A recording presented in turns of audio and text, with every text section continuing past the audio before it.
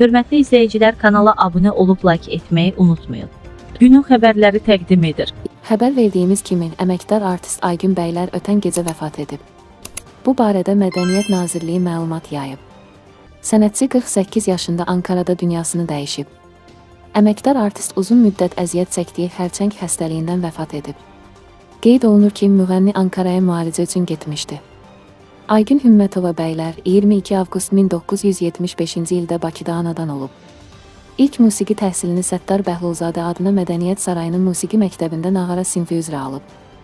1988-ci ildə yaradılan Azərbaycan Dövlət Uşaq Filarmoniyasına həmin il 13 yaşında qəbul edilib.